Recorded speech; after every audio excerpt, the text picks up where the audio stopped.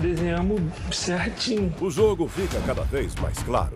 Falei que eles queriam colocar o casal. Yuri levantou o feno e garantiu o chapéu de fazendeiro. Agora sim! E já tem peão preocupado. Ela vai no voto do fazendeiro e eu vou na votação. A roça tá na área. Henrique, Jaque e Lucas. Quem vai meter o pé na estrada e voltar pra casa, hein?